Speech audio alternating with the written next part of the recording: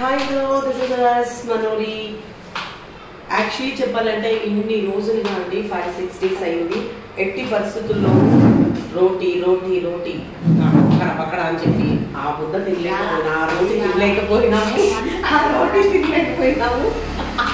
మా కొడమ్మ ఆ రోటీ తినలేకపోయినాము.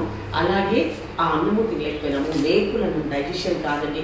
ఈరోజు అయితే మార్నింగ్ నుంచి అసలు నేను ఏమి తినేది వీళ్ళైతే అన్ని అందరు తిన్నారు.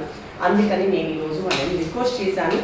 రిక్వెస్ట్ చేయడం వల్ల వాళ్ళు నన్ను వంట చేసుకోవడానికి అలా చేశారు.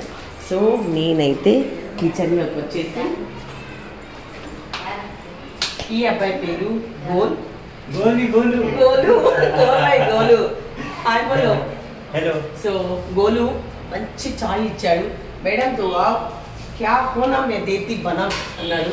ఈరోజు అబ్బాయికి వంట ప్రోగ్రామ్ కట్ చేసేసాను సో నేను వంట చేస్తున్నాను.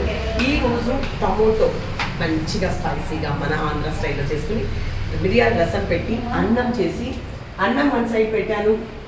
ఓ గంట? ఎస్ అన్నం ఒక పక్క పెట్టాను. అలాగే ముద్ద కూడా కొద్దిగా చేసుకుంటున్నాను నాకు ఈరోజు అండ్ రైస్ పెట్టాను. యాక్చువల్లీ ఇక్కడ వీళ్ళు ఏంటంటే అండి నేను రైస్ వేస్తుంటే వీళ్ళు భయపడుతున్నారు. ఎందుకంటే ఇది బాస్మతి రైస్ వీళ్ళు ఇంత ఇంత రైస్ తినరు. సో నేను చెప్పాను రైస్ నీకు తొందరగా అయిపోతుంది. ఈరోజు చపాతీ గరం వద్దాను. ఇది రసంకి జీలకర్ర మిరియాలు అడిగాను. దాంట్లో కొంచెం గరం మసాలా కూడా వేసాడు నేను తీసేస్తాను. సో ఈ రోజు రసం పెట్టి అన్నం చేస్తున్నా. ముద్ద చేసుకొని టమాటో బజ్జి. అలాగే నేను ముల్లంగి కొంచెం ఫ్రెష్గా తోటలో ఇచ్చింది శాంతి నాకు. శాంతి అంటే ఈ హోటల్ ఓనర్. సో ముల్లంగి తీసుకొని చట్నీ చేసుకొని కొంచెం ఎత్తి పెట్టుకుని రేపు మార్నింగ్ కొంచెం అడిగి రైస్ చేసుకొని రేపు మధ్యాహ్నానికి నేను అదే తింటా.